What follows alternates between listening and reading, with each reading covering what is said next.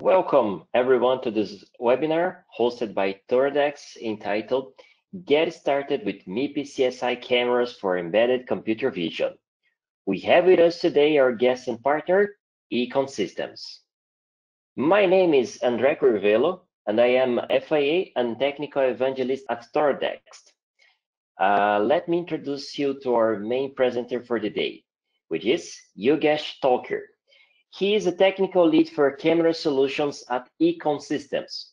Yogesh has a vast experience in embedded vision solutions, and today he'll show how you can easily develop a computer vision application with Toradex and e-con modules. But before diving into the webinar, let me cover a few organizational points. Please Use the chat window of the webinar tool if you have any technical issues and wish to let us know.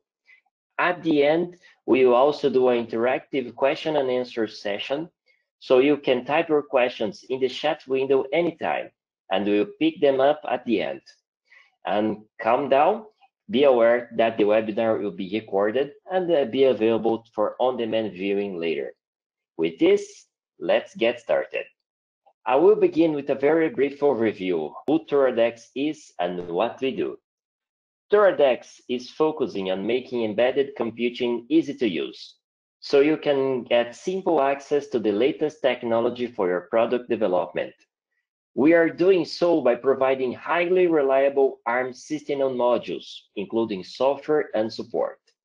We are striving to offer the lowest cost of ownership to you and this doesn't just mean the module price itself, but also consideration of aspects like your development effort, time to market, and long-term maintenance. We are proud of being able to have industry-leading support, including a very active community and a developer page with over than 800 articles with a daily basis update. As you can see, we have offices around the world with local support and warehouses. Me, for example, I'm talking from Campinas, nearby here, São Paulo in Brazil. Here is a shorter review of our products. We have three SOM families. Inside these families, the modules are pin compatible. So you can seamlessly scale from i.MX6 over i.MX7 to the i.MX8. We are also providing production quality software with those modules. You will learn more about our products later. I'd also like to explain our focus applications as we're optimizing our products and offerings for them. So to mention, we're focusing on industrial automation solutions, healthcare, transportation, test and measurement, and smart cities. Typical projects are customers with volume requirements of a few hundreds to a few tens of thousands products per year, and Toradex itself has thousands of active customers. Apart from the highly reliable system of modules, Toradex also provides production-ready software, including reference images for Yocto project. Toradex is also active in mainlining code for its system of modules. Torizon is a brand new free offering from Toradex. It is an open source and easy to use industrial Linux platform. It focuses on lowering your time to market and can be used out of the box. Torizon is based on open software, uh, so you have no lock-in and you can adjust it to your needs. Torizon also comes with an automotive-grade update client to allow for simple, safe, and secure software updates. As an example, software updates are safe even if you lose power in the worst possible moment. Security is another focus from Torizon, as frequent updates and simple access to hardware security features that make it easy for you to develop a secure device. A real-time option is also available. And modern continuous integration and verification processes make sure every Torizon release is stable. Torizon is built with the Yocto project and utilizes Docker for software containerization tapping into a vast software ecosystem. And now e-con Systems, a leading MIPI CSI2 camera module manufacturer, partnered with Toradex to provide embedded vision camera solutions for Toradex system and modules and its carrier boards. e-con Systems offer a wide range of uh, embedded vision camera modules based on OM Semiconductor, OmniVision, and Sony sensors. Toradex offers them system on modules based, as you saw before, on the NXP uh, families of IMX8, IMX7, and IMX6 processors. Uh, those are ideal building blocks for customers to develop products for industrial automation, medical, smart city, edge AI, and more applications. Each camera module from e-con System is sold together with an adapter board and cables, as known as the evaluation kit for you to use together with the carrier boards of Toradex. Please consult Toradex peripheral database for more details and also the e-con documentation. The current support for e-con cameras were added starting at BSP version 5 uh, to, and onwards. As a reference, you can get the August monthly build. Currently, the ECAM 137 and ECAM 55 are already uh, supported. The first one is a 13 megapixel wide resolution camera with 4K and 30 FPS streaming. And the ECAM 55 is a 5 megapixel low light camera. The two here uh, in the lowest part are uh, the support of them are coming soon. So those devices are also uh, supported currently for the family of the Apalis IMX8 Quad Max system module, the support for the Apalis IMX6 and the Verdin IMX8M Mini are also underway. So thank you very much for the attention. I appreciate uh, this introduction that I provide to you. Then I will now give the word to Yogesh. Please, Yogesh, you can now start. Thanks, Andre, for the introduction. I would like to welcome the audience uh, for this session and discussion on uh, MIPI CSI cameras for uh, embedded uh, vision or edge vision solutions. I would like to give a brief introduction about e-con Systems before we move on with the session. So e-con Systems has a 17 years of experience in product innovation. We manufacture a wide range of MIPI and USB cameras uh, that address uh, embedded vision solutions in markets such as agriculture, industrial, medical, and smart city and automotive uh, applications. Uh, we have about 250 plus uh, unique uh, product uh, solutions in which our cameras integrated and we have shipped about uh, 2 million plus cameras worldwide. we are excited to have our partnership with Toradex. Um, we have integrated our cameras to their range of computing solutions with the aim of accelerating uh, embedded vision solutions across the globe. I'll move on to the agenda of this session. We shall be discussing on components of an embedded vision solution or an embedded vision system in order to understand the design considerations uh, in developing an edge vision system. Further, we'll be move, uh, looking at the hardware and software design considerations of an edge vision system uh, following which we shall be running a sample OpenCV application demo uh, with our uh, 5 megapixel camera on the Apalis IMX8 Quad Max module. Further, we shall be looking into how to select a camera module for an embedded vision application where we shall be discussing on the design constraints or the design considerations and how an ISP helps in our uh, embedded vision solution, concluding with uh, understanding on selecting the right camera for our application, followed by a Q&A session. So uh, in order to understand the embedded vision system, uh, the, the most critical components of the system are going to be a good imager and a uh, capable uh, application processor, uh, which is uh, going to analyze and run its real-time processing on the image data, giving us output in different forms as a UI output or as an alarm, or it can be control signals uh, when it comes to automation systems like that. So understanding the uh, application itself uh, uh makes us decide on the imager and the application processor. For example, a rich UI system might require a multi-core uh, processor along with uh, GPUs or co-processor support but a system that is going to be a simple control system might not uh, require a multi-core system or it could be a minimal core application processor that can go with the right camera module in order to achieve the uh, solution for the embedded vision application. Uh, characterized by real-time detection and uh, low power solutions or uh, power efficient solutions, embedded vision systems uh, focus or target on keeping the processing on the edge. Uh, in contrast to cloud uh, uh, vision solutions or cloud AI solutions, where the data is transferred to cloud, the edge vision system is going to be more cost effective and compact uh, solution that keeps the processing on the edge. We have just listed out few applications for the audience to connect on the systems. A simplest embedded vision system can be a barcode scanning system, a portable system, uh, where the camera looks at a uh, barcode and the application processor understands the barcode in order to understand the system, in order to understand the object or the device uh, product. Uh, whereas a complex uh, embedded vision system can be a driver monitoring system where constant processing of image frames in real time is required and it is also critical without any latency in order to be a reliable uh, monitoring system so as to give out alerts in case of any uh, deviations to avoid any mishaps.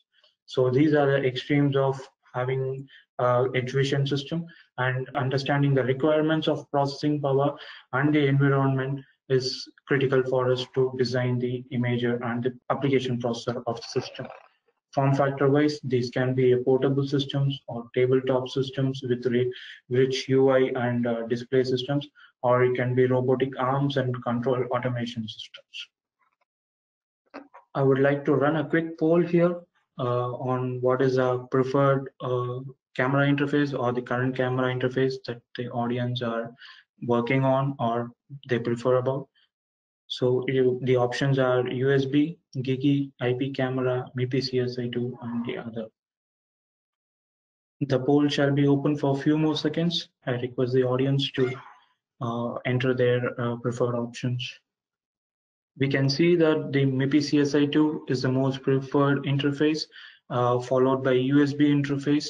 So we shall be moving on and discussing on these interfaces right now to understand them better. So having spoken about uh, the camera imager and application processor being the most important components, uh, the next important part is interfacing the camera to this application processor. And here we have few options, the MIPI, USB, or the GigE options.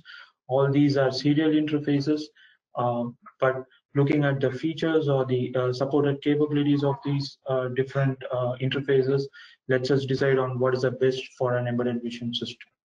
Uh, out of the three uh, interfaces, the MIPI offers the highest bandwidth with uh, about 1.5 Gbps per lane.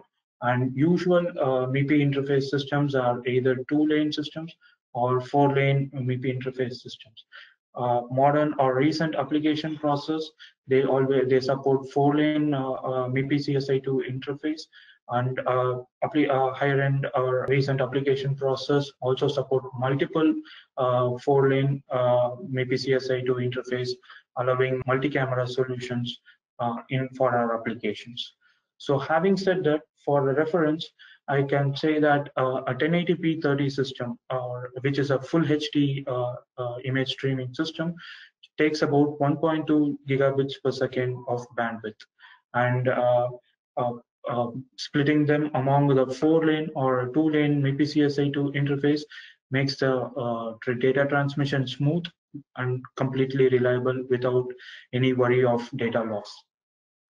So further, uh, four lane systems can support higher frame rates for full HD system like 1080p 60 or 4K uh, at 30 FPS or even further higher resolutions at uh, designated uh, or uh, specified frame rates.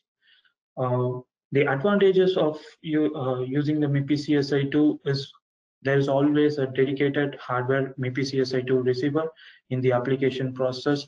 If the process supports multiple uh, MIPI CSI2 interface, there is a dedicated receiver for each of those interface, allowing uh, direct memory access, thereby there is no or minimal load on the CPU keeping the CPU free for the core uh, image processing application. Um, moving back to the uh, different interfaces, the USB comes next when it comes to the bandwidth, offering up to 5 uh, Gbps of bandwidth. But uh, when it when the USB uh, uh, interface is shared with other devices in our uh, embedded vision system, then there could be potential frame loss or there could be reliability issues. And uh, further, GigE supports only one Gbps of bandwidth, which is not very practical uh, when it comes to streaming uncompressed image formats. Uh, and when it comes to transmission of this image data over long range, GigE uh, uh, is uh, provides the longest data transmission, running up to few millimeters of data transmission, followed by USB, which can give up to 5 meter data transmission, although uh, there could be potential uh, reliability issues. Uh, the MIPI supports up to 1 meter of camera streaming with complete reliability and with no data loss guaranteed.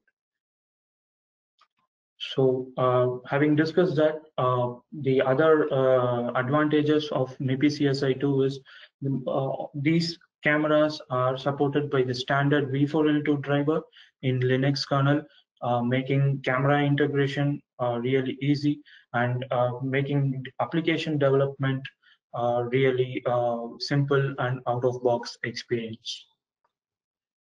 I would like to run another poll here, uh, trying to understand the audience requirements on their end application, if it is going to be a basic computer vision application or a deep learning application or if they're looking for a, a recording or network streaming application. The poll shall be open for uh, a few more seconds. So I'd like the audience to uh, enter your preferences, please. So a majority of the audience are looking for a basic computer vision application, uh, followed by uh, deep learning and network streaming being preferred. Okay. So uh, having ran this poll, uh, we can see the different frameworks or the IDEs that can be supported uh, on our camera devices. So we can see that uh, for a simple computer vision application, a framework as OpenCV with Python uh, uh, development, uh, Python language development is supported here. And for people looking for looking for deep learning applications, we have the TensorFlow support. And the audience who want, who are working on network streaming applications, you can use the uh, GStreamer framework here for encoding of the uh, camera data and streaming it over the network. Uh, the GStreamer framework with its plugins makes it a real uh, easy task on running a network uh, streaming application. It's just as simple as a command line application. And for people looking uh, working on UI based applications, we have the Qt framework support uh, that can use its extensive UI uh, development capabilities for running their UI applications. So having looked on the frameworks, we'll look on to how a camera is integrated into a uh, embedded uh, device. So uh, at the kernel layer, we have a device tree and the camera sensor driver, which is responsible for configuration and control of the camera and the MIPI CSI2 receiver. So uh, and then we have the V4L2 driver, which is a control layer between the uh, device driver and the application layer. Any control or any stream request that comes from the application passes through this V4L2 uh, driver to the MIPI CSI2 driver and the camera sensor driver, uh, thereby uh, controlling the camera and getting the uh, stream or the controls that the application requires. So once the device tree, camera sensor driver, and the V4L2 driver are configured successfully, the camera is enumerated as a video which acts as a single point control for all the streaming and control functionalities in user level. Now this video node uh, is supported by all these frameworks, the GStreamer, OpenCV, Qt and uh, TensorFlow frameworks, and uh, uh, the development can be in C, C++ or Python. So making sure the application development is really smooth and quick. So the support of variety of this framework also allows harnessing the framework's features with respect to the application that you're targeting.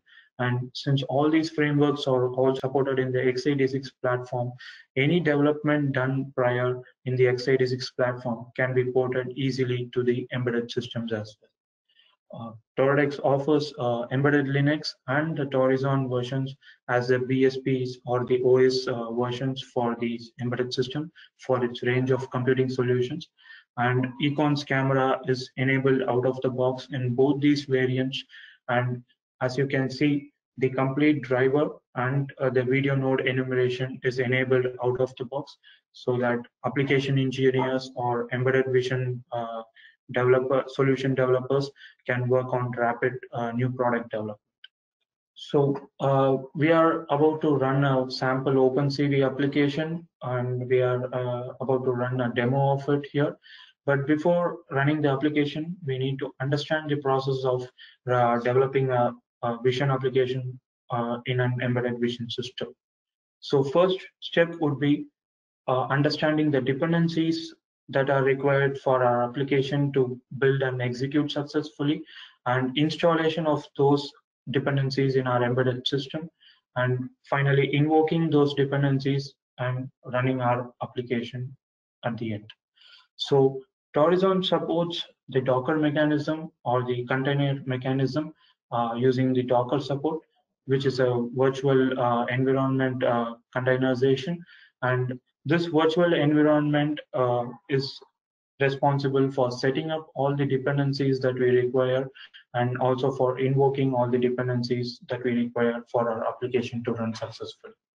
So our uh, the application that we are going to run today here is a simple face detection and eye detection application uh, developed using the Python language and the OpenCV framework uh, along with the GStreamer uh, uh, framework. So the GStreamer here is responsible for getting the stream out of the camera and providing it to the OpenCV. And OpenCV is responsible for running the face detection algorithm on the camera frames. So having said that, the GStreamer, the OpenCV, and the Python are going to be our dependencies. And while we write a Docker file, which is going to be our environment file, we mention all these dependencies so that while building the Docker file, all these dependencies are installed into our system. And next step would be to run the Docker, which is invoking that environment in our system so that all these dependency libraries are loaded and our application would be ready to be executed. Having taken care of the environment, we move on to the sample application itself. And I'm going to tell you on how we actually extract the stream out of the camera. So we use the GStreamer framework here and V4L2 source is the GStreamer plugin that can uh, work with the uh, V4L2 video node and control uh, the camera properties as well as uh, uh, receive the uh, frame stream from the camera. So as you can see, we are building a pipeline here using this V4L2 source plugin and we are mentioning what is the format that we require the camera stream to be and what is the width and height of the frames that we require uh, to be streamed, which is nothing but the resolution of the frames that we want to stream here. So once this pipeline is built, the output of this pipeline, which is going to be the camera frames, are provided to or converted first to a format that is supported by the OpenCV, and the next step would be to actually run the face detection itself. So this is as simple as an uh, embedded vision application can get. Uh, it's a uh, like 100 lines of code where you can start the streaming and you can control the camera properties and you can uh, run a complete uh, face detection algorithm on the camera stream. So I shall be running the demo video here this demo was developed with our 5 megapixel camera integrated with uh, Toradex Apalis IMX8 Quad Max uh, SOM. So powering on the device, the device is loaded with the Torizon variant of uh, OS, uh, which comes uh, preloaded with our camera driver. So the video node is all ready and set up for the application development to be done. So the initial steps would be to uh, build the Docker file uh, using the uh, Docker uh, environment file that we uh, created, where we have listed out the dependencies that are required to run our application. So we do that using the command called docker build, where we mention uh, the Docker file as one of the parameters for as an input file for the command uh, for it to uh, install all the dependencies. And then we give a name to the environment, which is our output uh, uh, environment package. The OpenCV Python app is going to be the name of the environment that we are building here. So basically this docker build command is to install all the dependencies into our system so that it can be invoked later and the application can be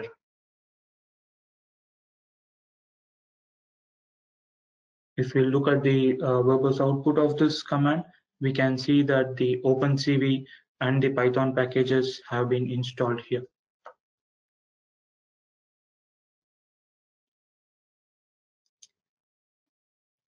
So the different Docker images that we build can be uh, can be listed out using the command Docker images, just uh, making sure that the Docker image has been built here.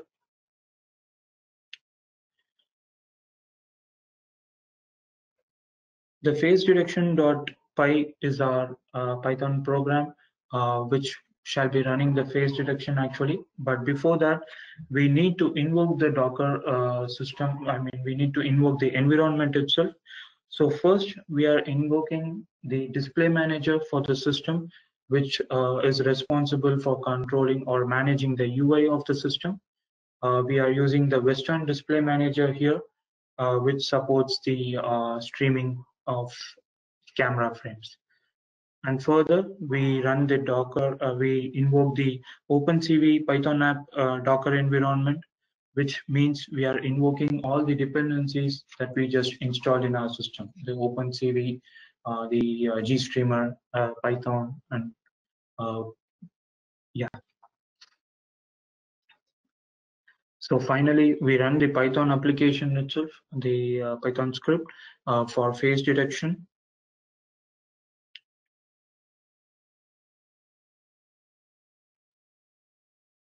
So the streaming, uh, the stream control has been done using GStreamer, uh, followed by the OpenCV that runs its uh, face detection algorithm on the camera stream.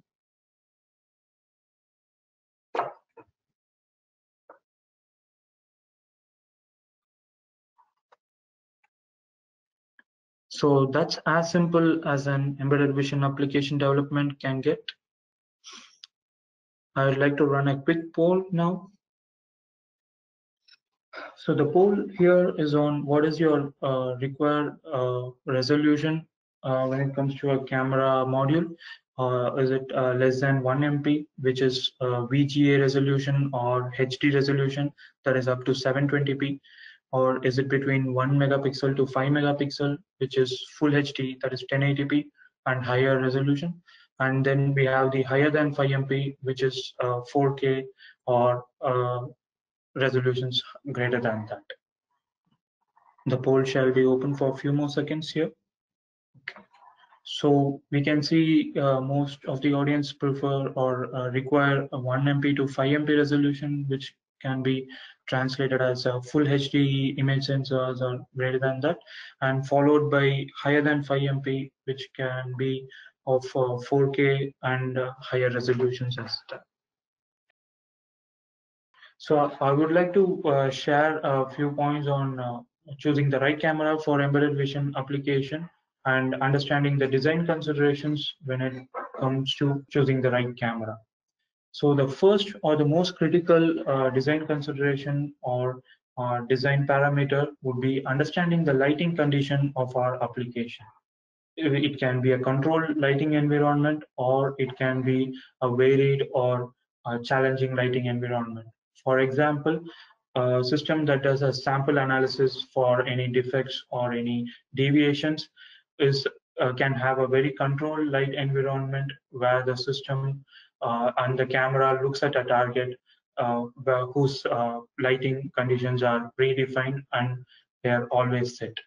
In another example, we can have uh, we have a kiosk uh, application which can be placed in outdoor and it can experience the most varied and random lighting conditions right from uh, heavy contrast lighting condition where the sun is right behind the person or it can uh, experience dull or low light conditions in the dusk or night time. So understanding this lighting environment uh, lets us decide what are the critical uh, features that the camera that we are going to integrate in our system is uh, needs to have. And uh, a few examples of such parameters are HDR, the high dynamic range, which will take care of a high contrast lighting environment, like this when the sun is behind a person for a kiosk. And uh, to, for the camera to work in a low or dull lighting conditions, it shall require a high sensitivity so that it can capture details in the image. Also, it shall require a low noise uh, performance so that there is uh, there is not noise that is affecting the quality or the detail in the image. Also, the gain of the camera uh, shall need uh, shall need to be controlled in order to manipulate the brightness of the image by the processor or the application when as and when it detects a low or a, a varied lighting condition. So the next critical design consideration would be understanding the target features uh, as to whether the target is going to be a stationary target or a moving target and how far the target is going to be from the camera. And this helps us in deciding the type of camera that we uh, need to integrate and also it helps us in uh, understanding the optics that are required in order to have a, a reliable camera solution. So in case of a stationary target uh, a rolling shutter camera would suffice and uh, we shall be uh, capturing images without any motion blur or in with good sharpness. But when it comes to a target that is going to be moving, we shall require a global shutter camera so that there is no motion blur affecting our images. Similarly, uh, when the uh, target can be uh, moving parallel perpendicular to the camera uh, we shall require a high depth of field optics or the camera shall require autofocus options in it or autofocus solutions in it so that the image always stays sharp. Understanding the uh, resolution and frame rate requirements of our system uh, depends on the application itself. I would like to give a couple of examples uh, that, the, that shall help us determine these two things.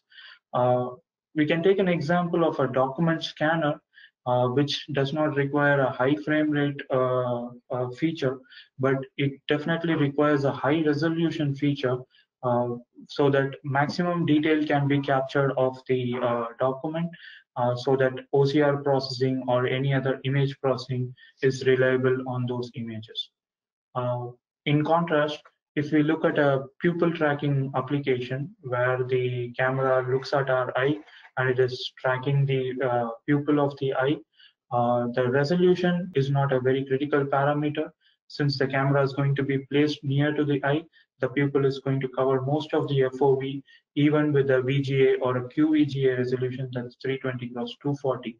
But what is very important here or mandatory here is a very high frame rate of 150 FPS or 180 frames per second for the algorithms to be reliable when it comes to pupil tracking.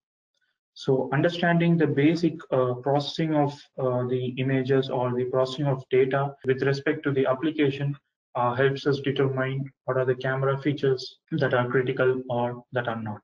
Next, I would like to show some light upon uh, an ISP. What is the need of an ISP? Since all the camera standard camera modules that come these days always uh, have an image sensor coupled with an ISP or an image signal processor in order to extract the best image quality out of a camera. So an image signal processor provides or supports comprehensive image processing uh, like image enhancement, uh, the 3A controls, noise correction, sharpening, and all these image enhancement techniques are required in order to extract the best image quality out of a sensor. Uh, interfacing a sensor to an application processor is uh, uh, straight away is easy, but all the image enhancement or the image processing is required in order to have a very reliable imaging solution. And why can it not be done on an application processor itself? The reason being, uh, recent application processors either do not uh, give a comprehensive image processing solution uh, where they provide only the minimal uh, color space conversion, scaling, or blending options. And another uh, big important feature would be the ISP offloading all these image enhancement processing in itself so that the application processor can be completely free for the core uh, image processing or the vision application. Uh, also, uh, the, an ISP provides an extensive IQ tuning parameters. For example, let's take scaling of image pro, uh, of an image frame. Uh, an ISP might provide various different algorithms like the bilinear or the bicubic uh, interpolation algorithms uh, so that the scaling can have a, a, good range of scaling options and uh, scaling resolutions whereas an application processor might not provide the same number of different options. Uh, it shall provide a minimal number of scaling options that is uh, optimized for performance, whereas an ISP gives choice of choosing an algorithm for performance or, or quality and also image processing bandwidth an ISP is usually selected or an ISP is designed uh, uh, and coupled with an image signal processor, uh, sorry, an image sensor, so as to extract the full capability of the sensor. For example, uh, and receiving the complete resolution at the at the maximum frame rate possible from the sensor, and then scaling and uh, providing it to the processor can be done with help of an ISP. And uh, extended features of a sensor like HDR can be supported by an ISP, whereas it might not be always supported using an application processor. So this is how an ISP helps and uh, a camera module that has an image sensor with an image signal processor that has been tuned to work with this image sensor always offers a better quality over just a camera module with just an image sensor. Here I have listed out few uh, uh, different uh, industrial applications or applications from different uh, scenarios in order to uh, discuss how to arrive at a solution or a camera solution for each of these cases. So uh, the first example that I'm taking here is a harvesting robot and in agricultural automation. Here, the responsibility of the robot is to understand uh, whether a vegetable or a fruit is ripe enough to be picked, and it goes ahead and picks the uh, right uh, samples. For this to work in an outdoor environment, it shall require HDR, that is high dynamic range, so that it can understand the scene with detail in high contrast uh, lighting condition. And since uh, the uh, understanding of the uh, ripeness of the uh, samples is very critical, we shall require a perfect color reproduction, uh, which means we shall require a auto white balance that works reliably in our camera. So also we shall require auto exposure and auto focus so that we always get a sharp and detailed image for our processing to be reliable. But here we might not require a high resolution image, a low or a mid resolution image shall suffice for our processing to work reliably. The next example I would like to take is a parking lot management. Uh, a, a cost-effective camera module works with a processor in order to manage this uh, parking lot. Uh, here, a high resolution is a very critical feature or very required feature so that it can extract maximum detail uh, from the scene. And the next most uh, important feature would be having a wide FO. Uh, so that with minimal camera modules and minimal systems, a large area of uh, view can be covered here. Also, auto exposure and auto white balance is critical here since they can be outdoor or indoor solutions. Uh, the lighting conditions can vary and uh, auto controls are required for getting reliable images. But what might not be necessary here is an auto focus functionality because the target scene is always at a constant distance from the camera and therefore a fixed focus lens is would suffice in order to get the best quality and best sharp image out of these scenes. I would like to discuss uh, two uh, examples together here. One is a pupil tracking for behavior analytics uh, applications, and other would be access control system. Both of these applications are going to work on our eye image data. The camera is going to be looking at our eyes or looking at the person's eyes in order to understand or derive some information out of it. Uh, while the first uh, application of pupil tracking requires a very high frame rate as we discussed before, the algorithms require 150 or 180 frames per second in order to in order for the tracking to be reliable but low resolution is enough since the camera is going to be placed close to the eye and the pupil is going to cover most of the FOV even with a low resolution of VGA or QVGA. Uh, and also IR sensitivity, high IR sensitivity is required here since uh, all the eye tracking and pupil tracking applications work with IR illumination on our eyes. The sensor needs to support good IR sensitivity so that the image samples can be of best uh, quality. Coming to the access control system, again, it is working on our image data, but here a high frame rate is not of importance for us. We can have a regular typical frame rate of 30 FPS or 60 FPS or even lower, uh, but what we shall require here is a mid or high resolution so that even if the person is standing at a very distance from the camera, uh, FOV shall still cover a good amount of data of the person so that the iris can be recognized reliably. Uh, we, we shall require a monochrome camera here as well uh, with a high IR sensitivity since uh, the eye is going to be illuminated with IR light and it is the Uh, uh, IR reflectance uh, data that shall help us in recognizing the irises. Uh, since a person can be moving from the camera randomly with slight variations, like not moving completely, but with slight variations, a good depth of field is re required here so that the images stay sharp at random sampling. So uh, these two uh, contrasting applications which work on the same image data are tells us how uh, camera parameter, how the environment parameters uh, decide on selecting the right camera for our solution. I would like to run a poll before closing this session. Uh, we would like to know what other features are important for the audience, like form factors of the camera, enclosures, auto controls, and extended features like ultra low light support. The poll shall be open for a few more seconds.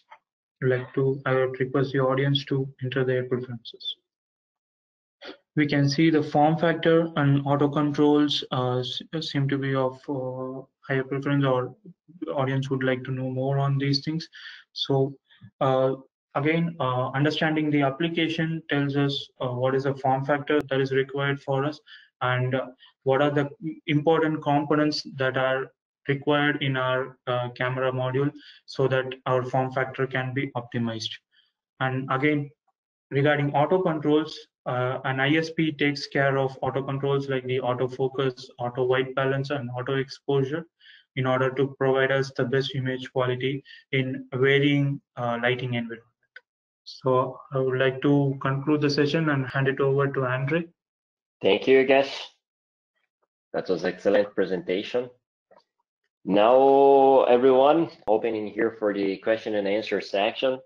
So uh, here I have a few questions, you guys. Uh, some uh, user here has already provided some questions in here. I, I have assigned them to you.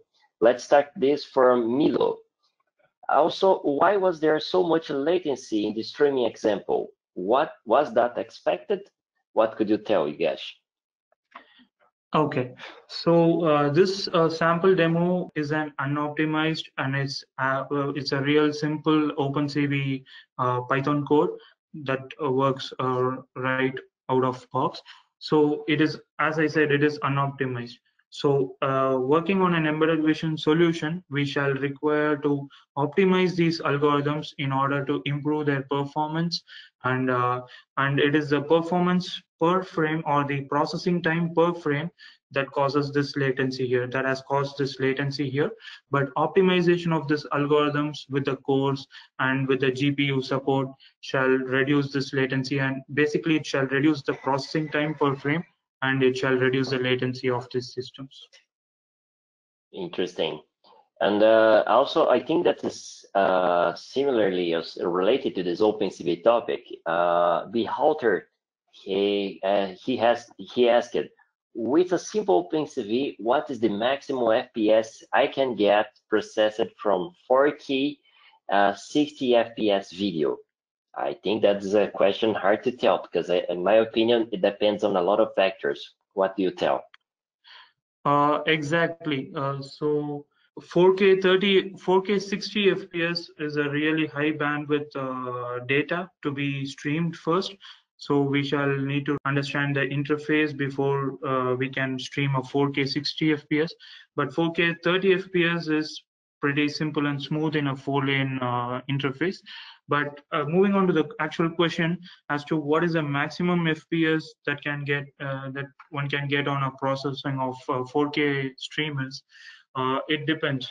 So the first thing is what is the computation requirement of the processing that is being done and is processing on the 4K itself uh, really necessary, or if the stream or the frame can be scaled to a lower resolution, and if the algorithm can perform in the same level for the lower resolution, uh, that can be a viable option as well.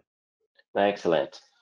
And here uh, also uh, we have a question here. How many cameras could you connect at the same time on the Verdin MX8 system on module? Similarly, as we commented uh, today morning, just get me just just let me get here the uh, data sheet of the Verdin to comment it. Here is it. So talking about in consideration about the Verdin MX8M Mini that we are currently that we are already working on, uh, it's asking how how many cameras can we connect in the Verdin MX8 system on module. So judging by the specs on the datasheet for the MIPI-CSI2, as we don't as we only have one for the data lanes MIPI-CSI2, I would say that is only one camera, correct? Uh, yes, uh, Andre. Yeah. Mm -hmm. So also here we have another question about uh, how do you get started with TensorFlow for Toradex board. So I also I will comment in here, also inviting you uh, who is watching this presentation from ours uh, to get uh, to know our Toradex developer resources, our developer portal. Here we have a Torizon sample in which we show how you can do an image classification with the TensorFlow Lite. In a, in another example, it's just a matter of uh, doing similarly as what uh, Yogesh showed in his presentation. I took the opportunity to take a print screen of that. So the main challenge in here is to get the drivers and the, the base support for the embedded Linux or Torizon to get in place, which is already kind of is already there. Then it will be providing you the video interfaces that will be also assigning to the, TensorFlow, in this case, TensorFlow Lite application. So uh, grouping one piece to the other, putting the pieces together, you can get the TensorFlow application uh, working with uh, e-con camera in this, in this example. And let me see here the other questions. Here is uh, John Collins is asking, where do you get the example file? So you guys, do you have any plans on providing these samples? Uh, yes, Andre. So we are uh, working on uh, uploading this uh, sample uh, Python file and uh, writing an article on on the same topic here. So mm -hmm. person can either look have a look at our website to get access of those knowledge articles, or an email is always welcome for us to share the samples directly. Excellent. And Miguel Hernandez is asking, what is the price per camera unit? Would you like to comment about that? Comment on that if you want to share your screen and to show the available camera modules and uh, how does it work about the pricing?